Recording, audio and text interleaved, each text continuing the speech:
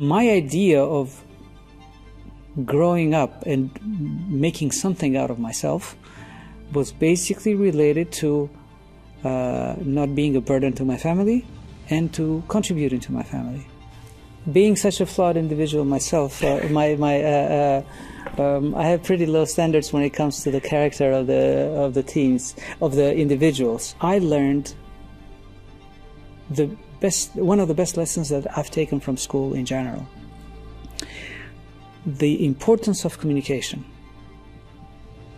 Communication is a basic skill for everything and anything that one wants to do in life.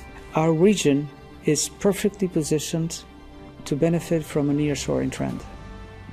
We need to get our house in order. Clearly.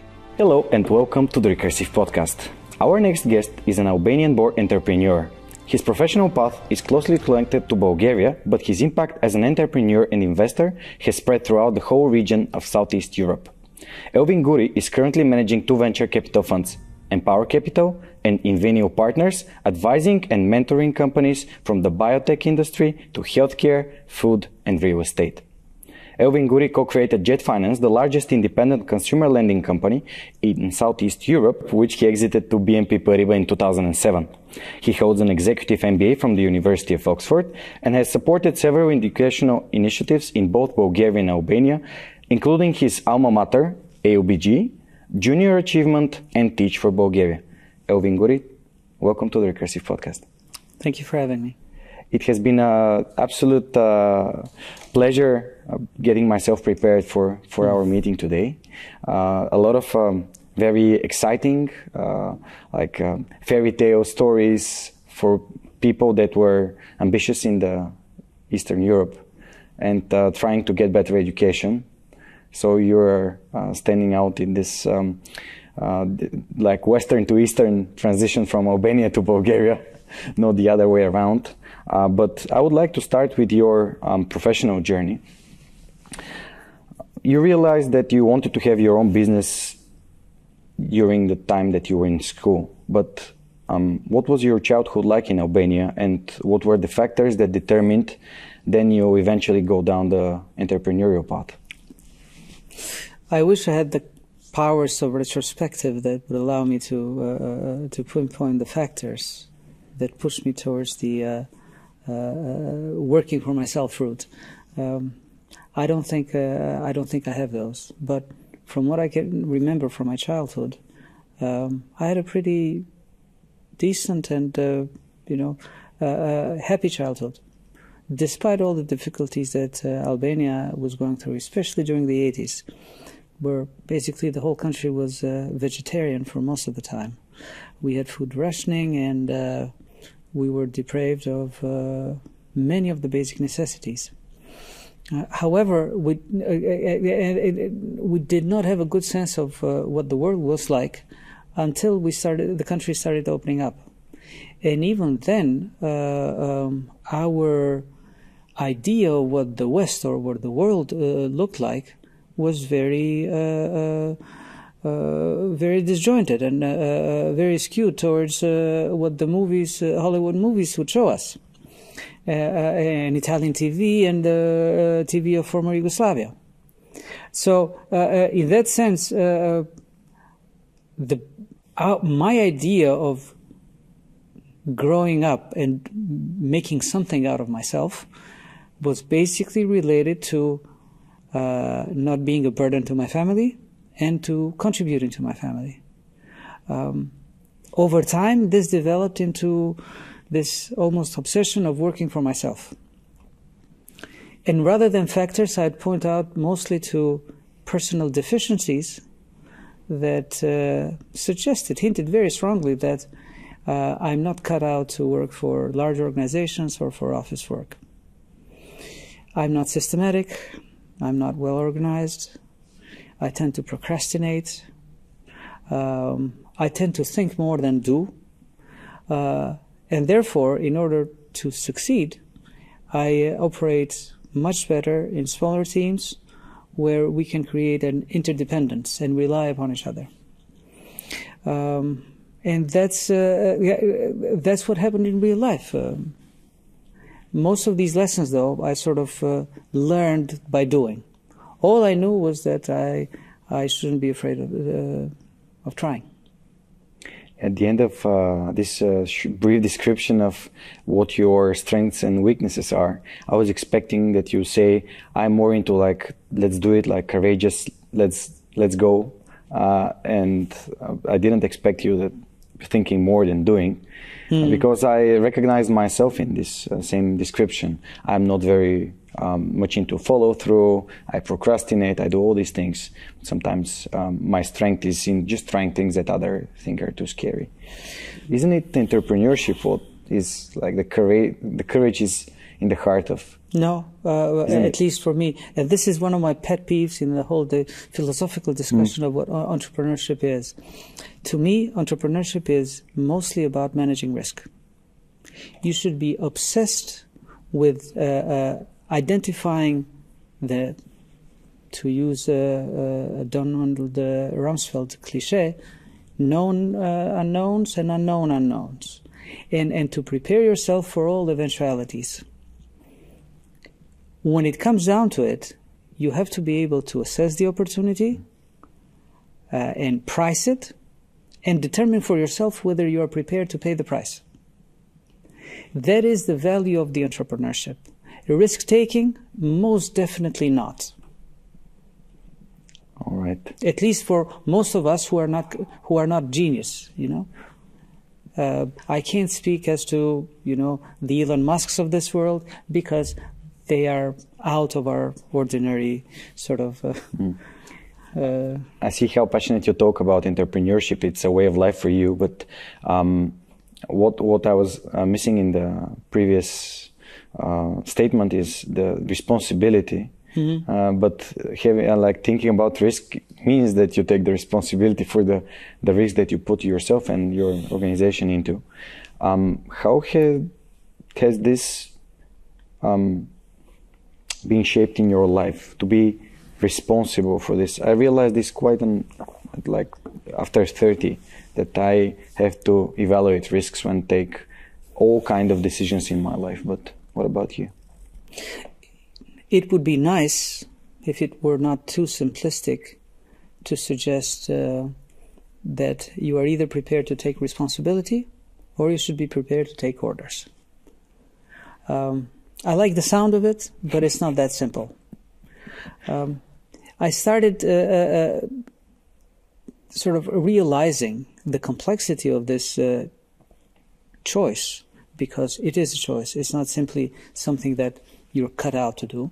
Uh, uh, when I read uh, uh one of the better, most famous books of Peter Drucker called Innovation and Entrepreneurship, where he describes that uh, entrepreneurship is a not a character trait; it's a skill, much like a foreign language.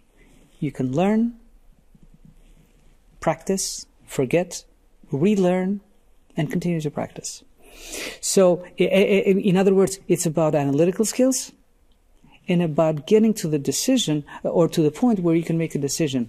Am I prepared to pay the price for this or that decision in my life? That is essentially, I think, what taking responsibility means.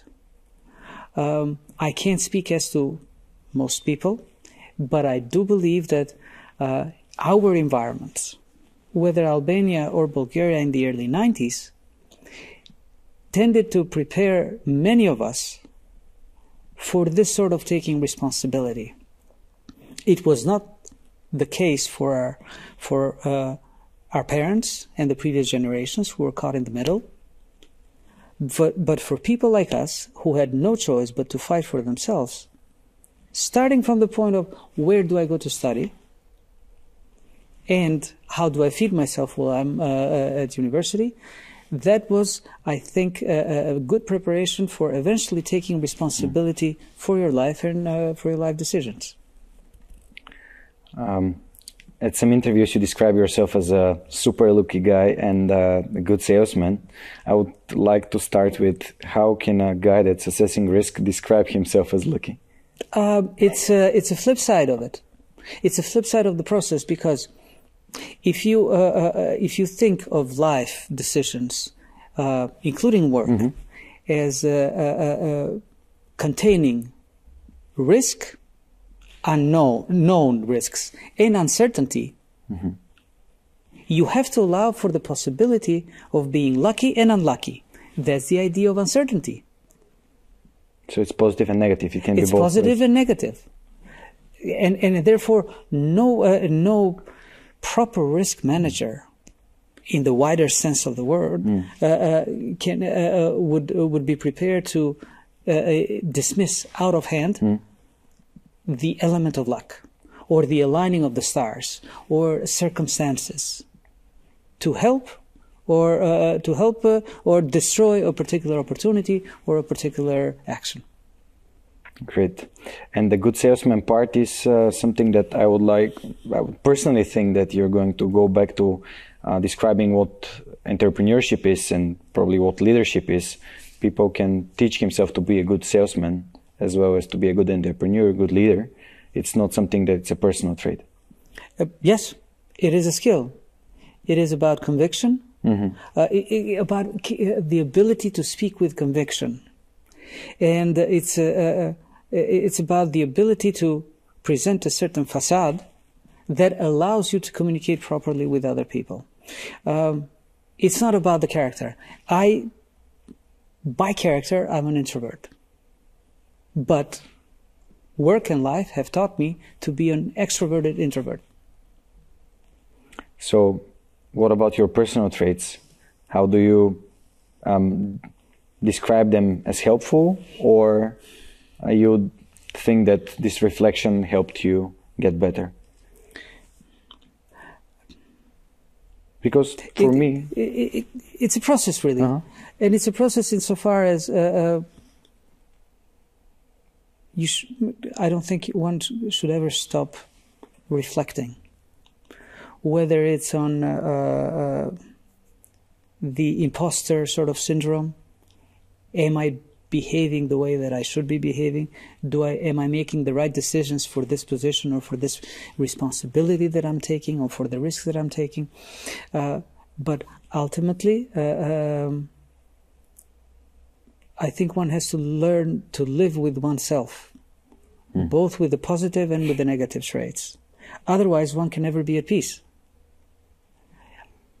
I, I'd like to think that I've, uh, uh, uh, I know myself sufficiently to understand, especially what my weaknesses are, and uh, to have grown enough as an individual to learn to accept them, to live with them, and with the consequences, and where possible, to mitigate them through relationships mm. with others. It's uh, there's another book by Peter Drucker that uh, you reminded me here. Mm. Uh, it's managing oneself, and one uh, he was describing what the mirror test is, like living with yourself.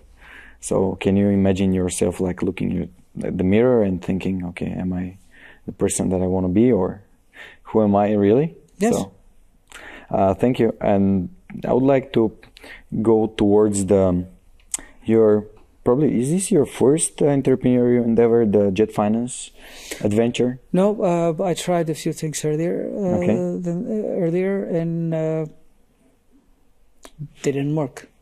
So you you started uh, your co-founding Jet Finance, and looking back towards this, what factors do you think helped you execute this idea to to become so successful? I think we're lucky to be good in good times.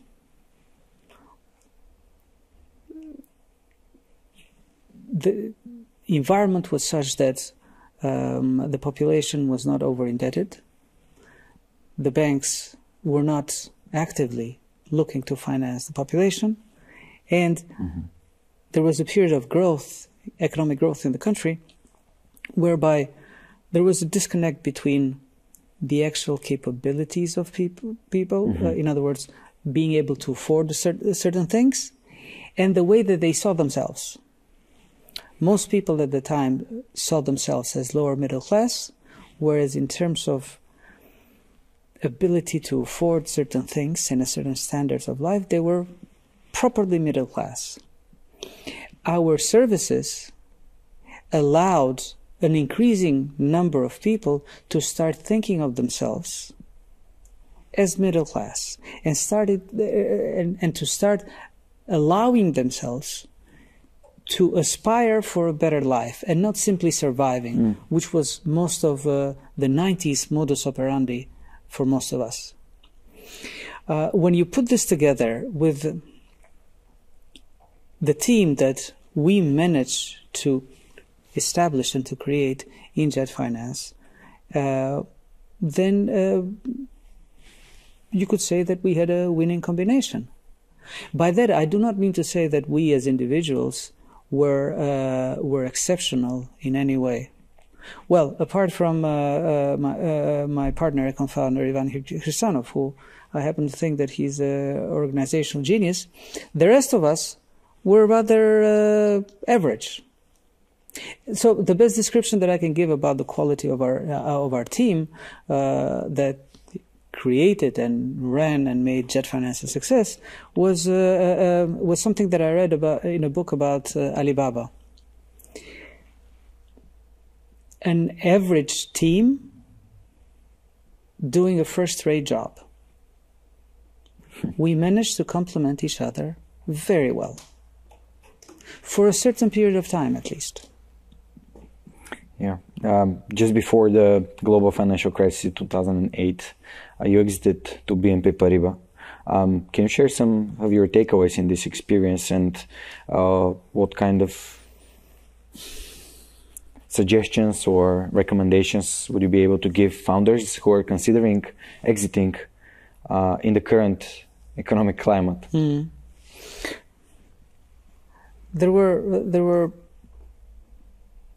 several factors that uh, pushed us towards uh, the sale at the time. One was that uh, um, the organization had become increasingly complex. We had reached close to 3,000 people, employees and close associates. Every decision that Ivan and I took reflected on the lives, livelihoods, and families of, the three, of these 3,000 people.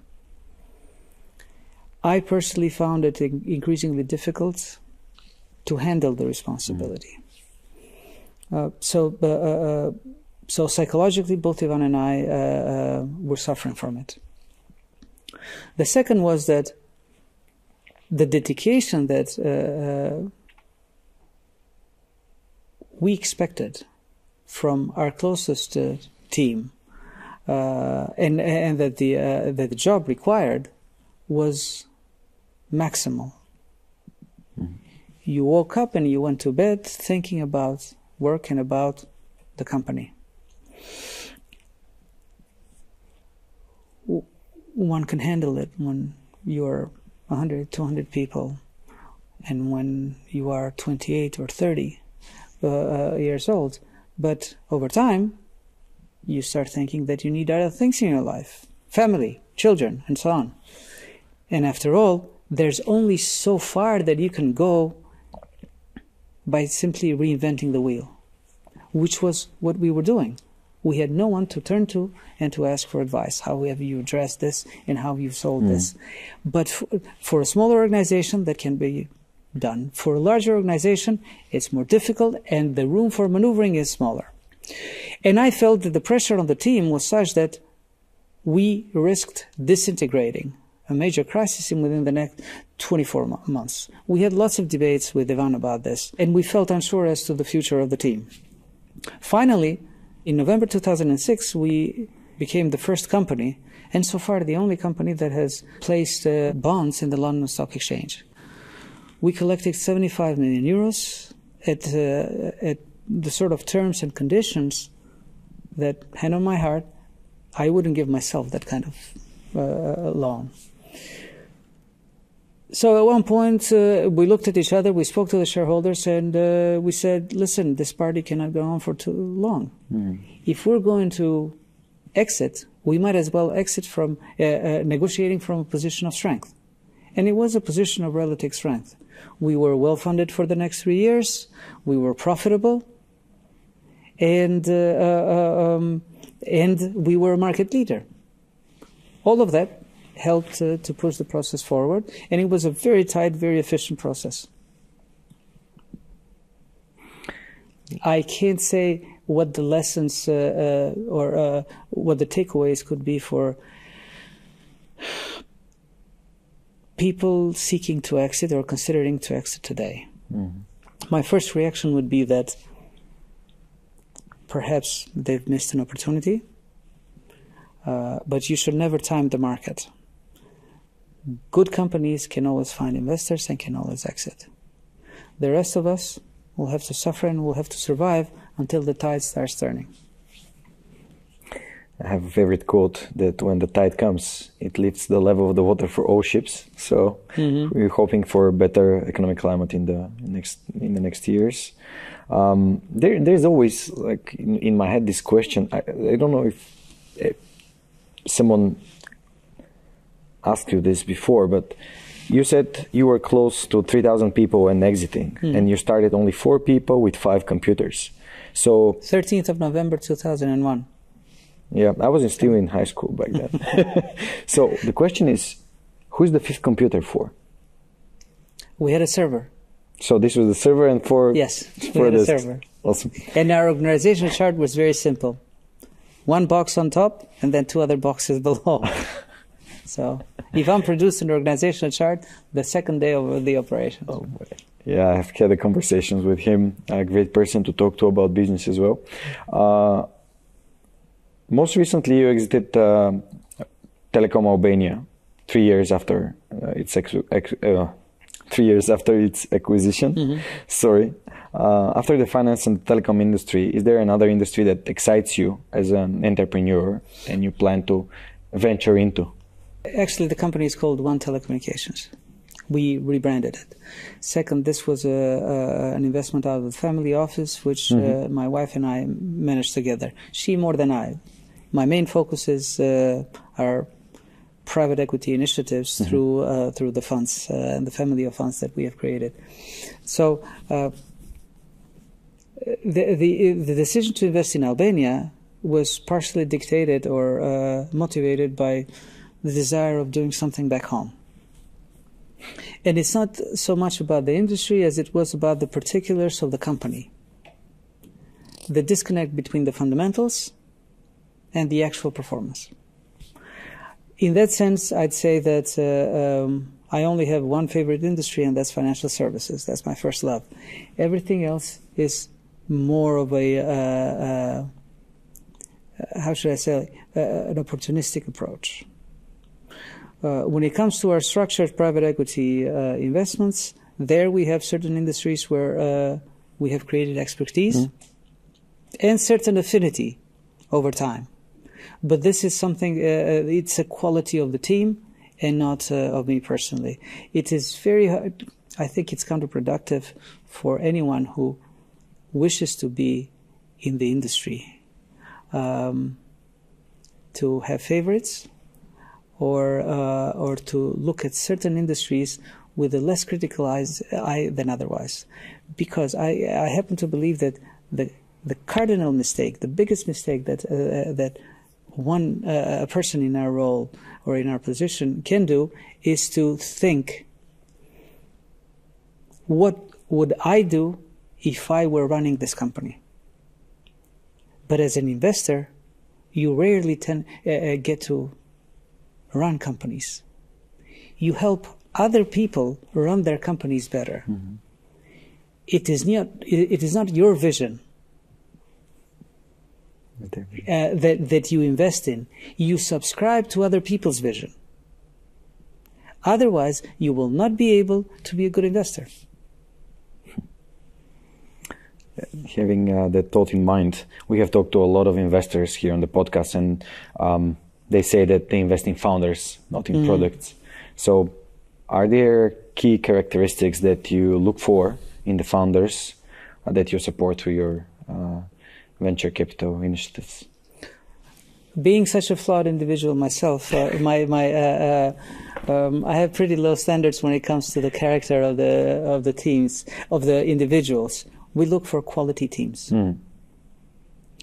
outstanding individuals can play and do play a vital role in the founding stage of businesses. However, in our in our activity, we invest in uh, growth stage uh, businesses where the quality of the organization must become increasingly more important than the quality of the individual that has established or, or helped create the organization. It is exactly the moment where you uh, uh, uh, a company, or rather a, a firm, starts becoming institutionalized, bureaucratized, if you will. That is the point where we would like to start investing because that's where we can bring more value. That's great. Um, one thing that's very interesting for Empower Capital is that you are focused on some industries that some consider unsexy, mm-hmm. like manufacturing and healthcare.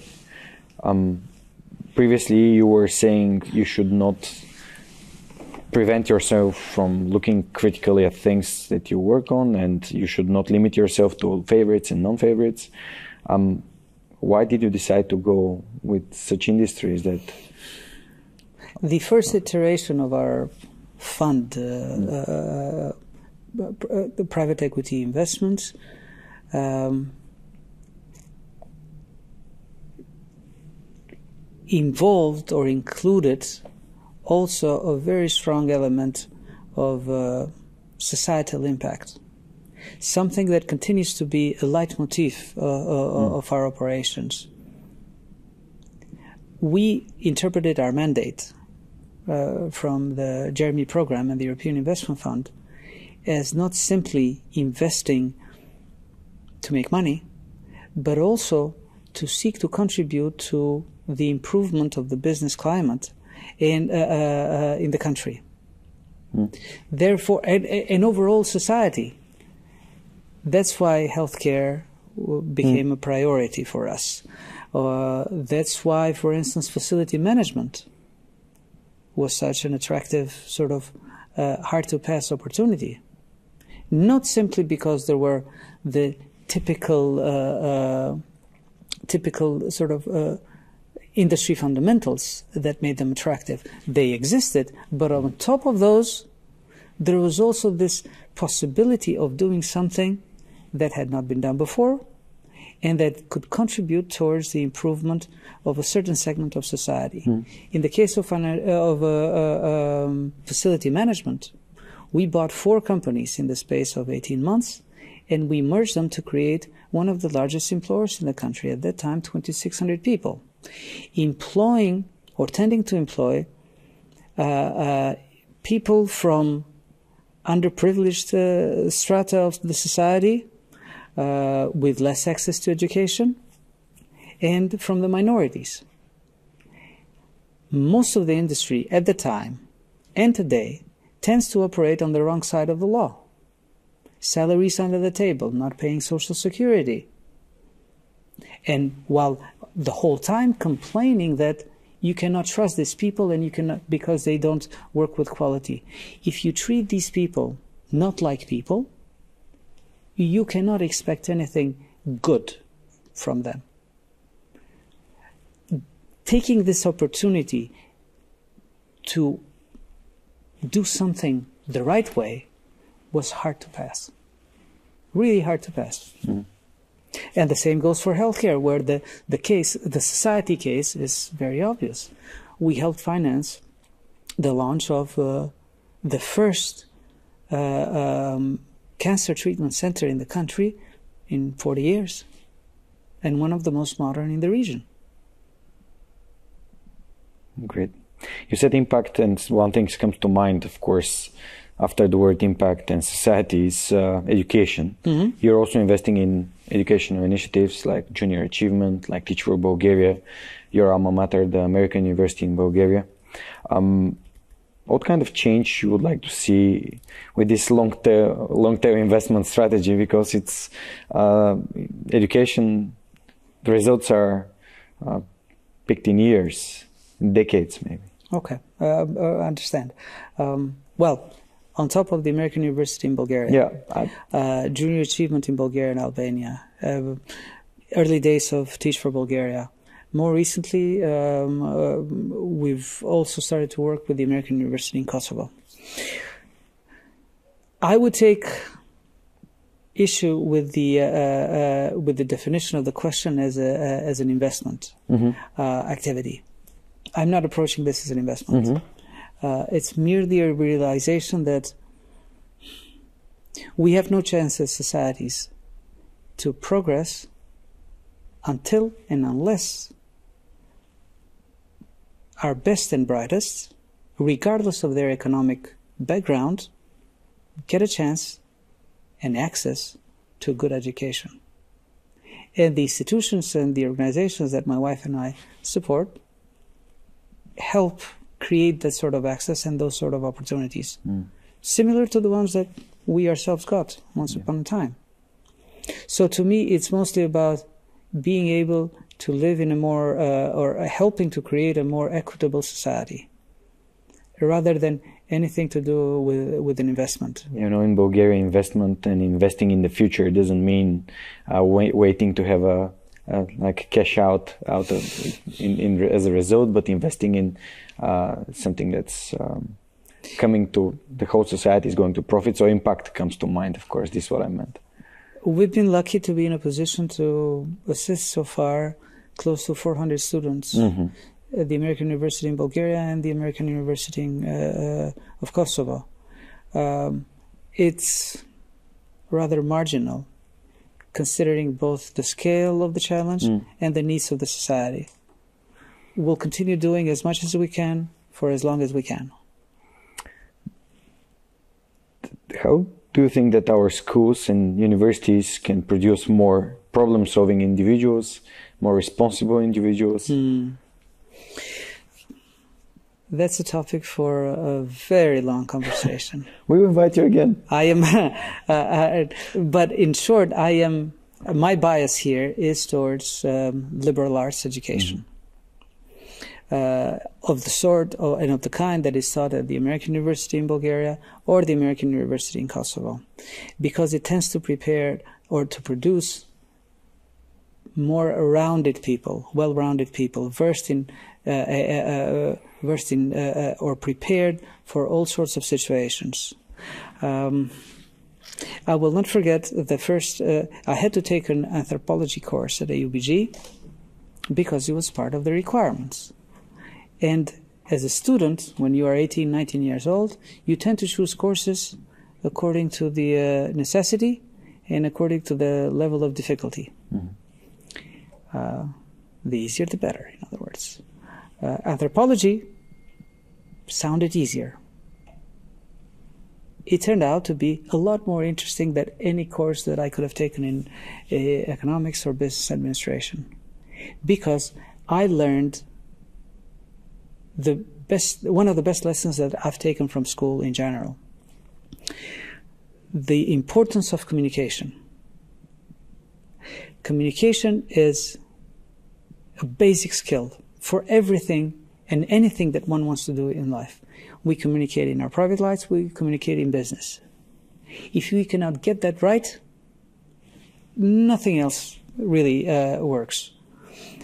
And most importantly, as a corollary to this, we need our communication skills, especially with those people, individuals, or organizations with whom we do not get along or we don't like.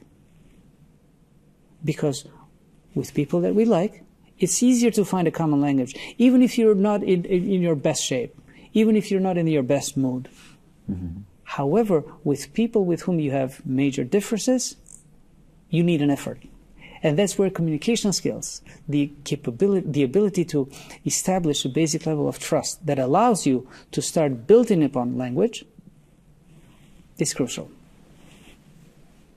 That's why liberal arts for me are a lot more important these days for problem solving, complex problem solving, than pure technical still, skills. Having said that, I do not in any way wish to dis or dis uh, or, or, or uh, you know uh, uh diminish the value of uh, STEM education. Mm-hmm. I just have an issue with uh, um, with the thesis that training more software programmers will solve our problems. Mm-hmm. We need more than good professionals. We need good citizens. And liberal arts is fundamental to good citizenship. Great. Yeah. I've talked to a lot of people, even, you know, Vasil Terziev and the founders of uh, mm-hmm. Telerik are also AUBG alumni. Uh, uh, that says it all. Very happy for, for what's happening. And right after Telerik's success, we are now um, having a very good harvest we had the first unicorn in Bulgaria earlier this year. Um, AUBG graduate. Also, AUBG graduate. Christo is a, a, friend of mine. So, right now, the local VCs are competing uh, for the, let's say, the Bulgarian ecosystem, startup ecosystem is maturing. Mm-hmm. Um, what have you learned so far? You've been into this in this process for longer than like most people that are just starting companies or uh, having capital want to invest in. What can you share on the process so far? I have lots of thoughts on the subject. Um, uh, I think the most the, the, most important thing for all of us involved in the industry mm. is that we should realize first that Bulgaria is a small country and a small and limited market if we are going to produce world class companies, we also need world class investors, mm-hmm. funds. We cannot do that by having, by speaking only of a Bulgarian ecosystem. We should be speaking and we should be aspiring towards a regional ecosystem. And I just happen to think that uh, uh, Bulgaria and Bulgarian funds or funds that have generated from Bulgaria, GPT, uh, general partner teams, and so on, we have a unique opportunity to uh, to establish our industry as leaders in in the region. We have a few years uh, uh of advantage uh, from some of the neighbor uh, compared to some of the neighboring countries. They're catching up fast but we we still have GP teams here that are into their second or into their mm. third fund. So some of the growing pains we've already been through. We are better prepared prepared for the challenges of uh, you know the next few few years. We need to take advantage of that and help companies become regional leaders. We need to help Bulgarian, Romanian companies to become regional champions. Mm-hmm and that's uh, uh, uh, and then think about you know competing Globally. that is that is I, I, I of all the uh, sort of professional challenges that uh, uh, I define for my professional career or what remains mm-hmm. of it, um, this is probably the most important one. Because it makes an impact, isn't it? And because I think it's the only way in which we can show that we can do things better at this game than the foreign investors, which is another pet peeve of mine. But from your personal perspective, what does it take for these Bulgarian and companies in Southeast Europe to be competing on global scale for market for clients and also for the best talent in the world? Currently, we're having mainly home at home? Mm. I think uh, size brings certain benefits. Larger funds will be able to invest in larger companies or help build larger companies that can attract also talent. Um, I would focus more on uh, Bulgarian and regional talent diaspora, mm-hmm. of which we are not short at all. All of the countries in the region, from Romania to Albania and Greece, are basically immigrant nations. So, um, and uh, uh, and most of us most of us did not leave the, our countries thinking we're never going to go back. Most of us were forced mm. economic immigrants.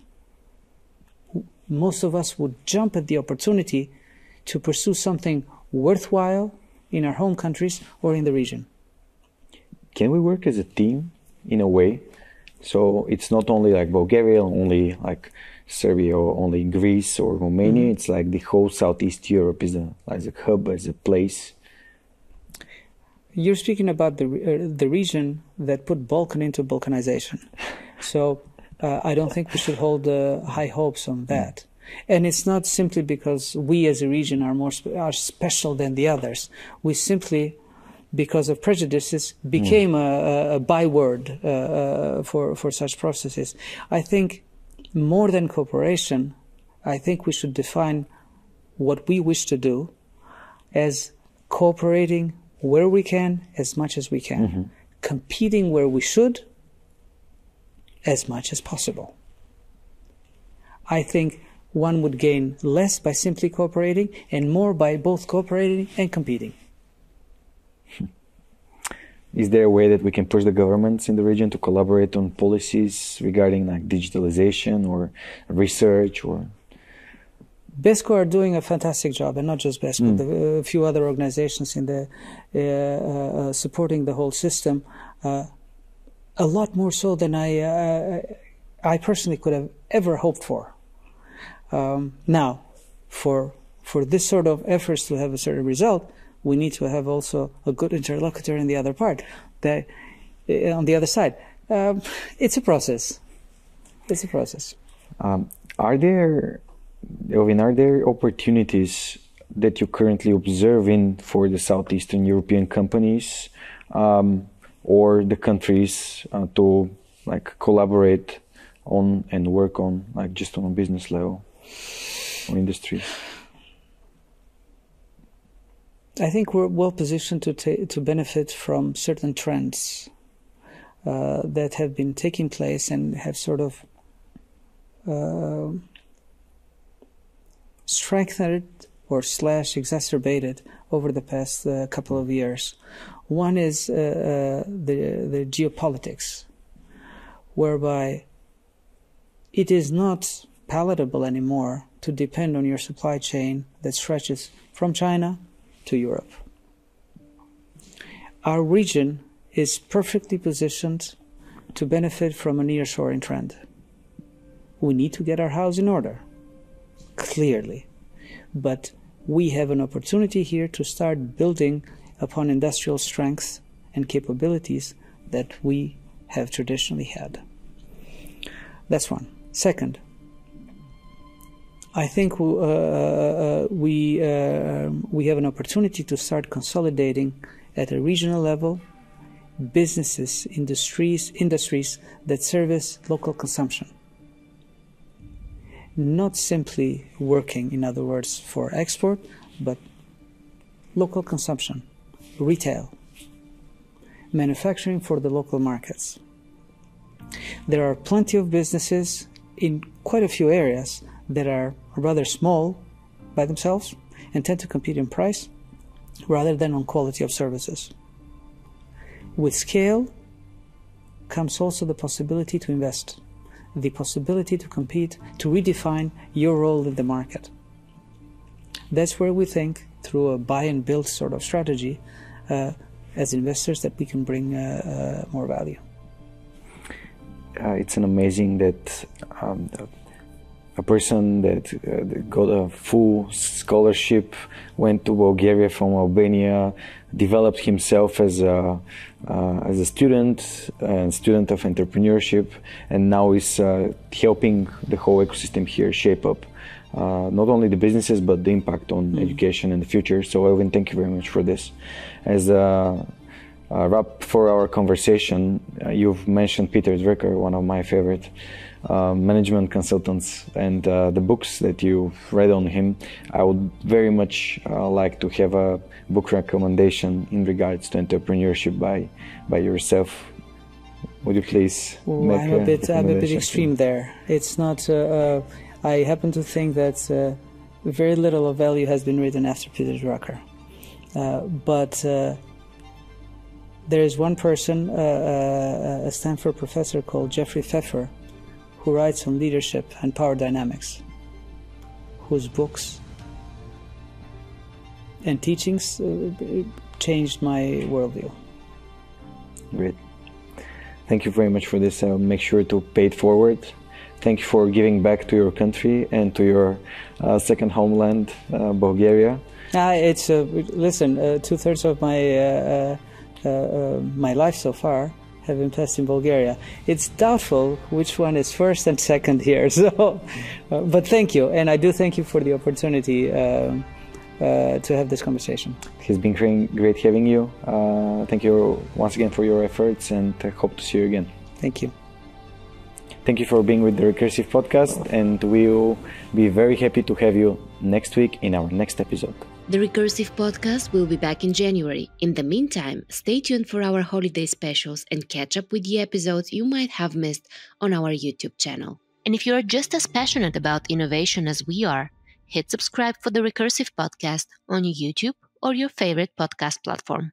We're everywhere.